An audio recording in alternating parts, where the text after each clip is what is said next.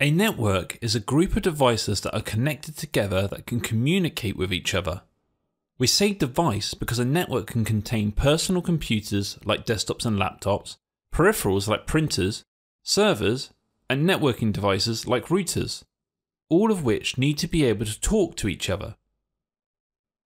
A local area network, or LAN, is a network where all the devices are in the same geographically close location for example, within a single building or within a group of buildings.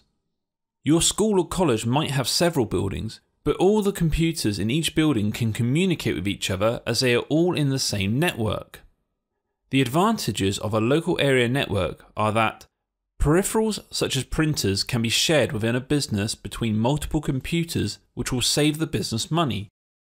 Files can be stored in a central location so that users can access them from any computer connected to the LAN. Important documents can also be shared with all users. We can centrally manage computers which is more efficient. For example, installing software or backing up all of the computers without having to do so manually on each device.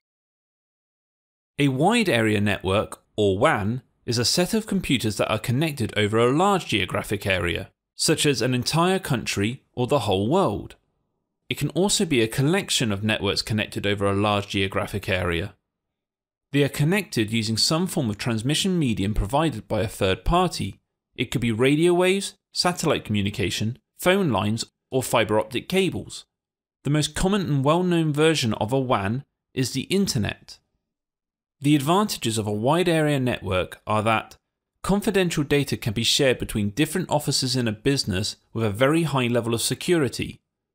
Files can be accessed from different business locations and important documents can be shared between all employees within the organization. A dedicated WAN uses private leased lines rather than broadband internet connections to transmit data, which will usually provide faster data transfer speeds.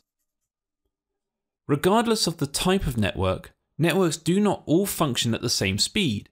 In fact, the same network may have wildly different speeds at different times of the day and different days of the week. This is because there are several factors that affect network performance. The first of these factors are bandwidth and latency. The bandwidth of a network is the amount of data that can be transferred from one computer to another in a given period of time. This is measured in bits per second, or more commonly, megabits per second.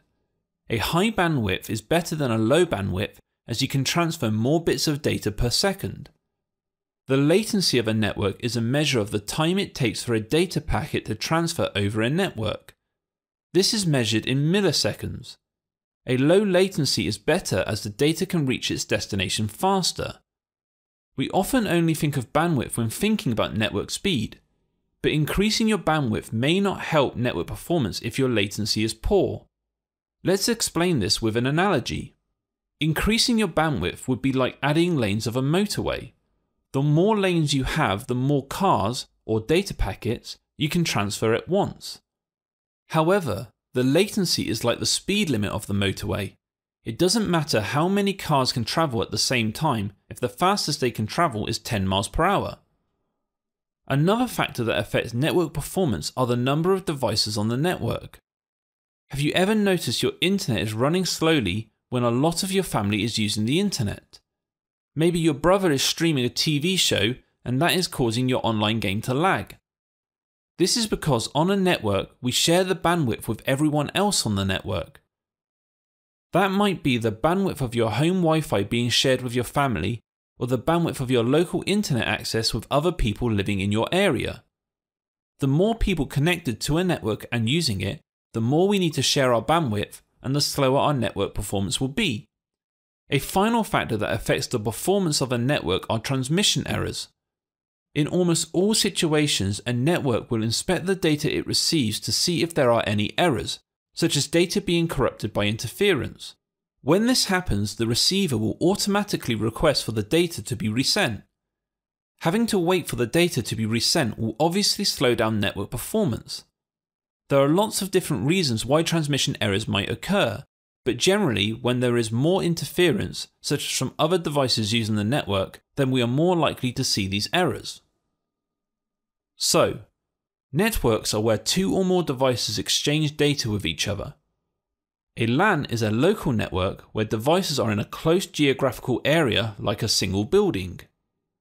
LANs are great for sharing access to resources, storing files centrally so they can be accessed flexibly, and for managing devices from one computer. A WAN is a collection of devices or networks that are over a large geographical area. WANs are good for sharing confidential data, distributing important documents, and providing this data as quickly as possible. Network performance is affected by the bandwidth, latency, number of devices, and transmission errors.